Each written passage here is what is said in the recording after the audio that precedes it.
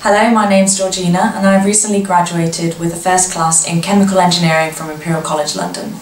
As an individual, I'd say I'm resilient and highly success driven, two qualities that are clearly demonstrated by my academic achievements and societal responsibilities.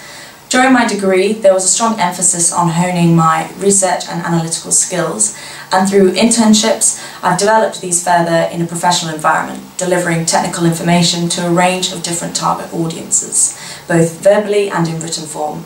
My first exposure to a business role was when I helped found the Imperial College Oil and Gas Forum in 2014. This was an annual student-led conference attended by over 200 delegates in its inaugural year. I was directly involved in sourcing uh, corporate sponsorship, which we achieved £60,000 in the first year and £40,000 in the second, building a network of over 100 industrial contacts in 12 months, and overseeing a social media and email marketing campaign, both of which were very successful. One of my key strengths would have to be communication, from presenting to key stakeholders to pitching a new startup venture to potential investors, I'm continuously seeking opportunities to cultivate my communication and presentation skills. Thank you for taking the time to watch this video and I hope to hear from you soon.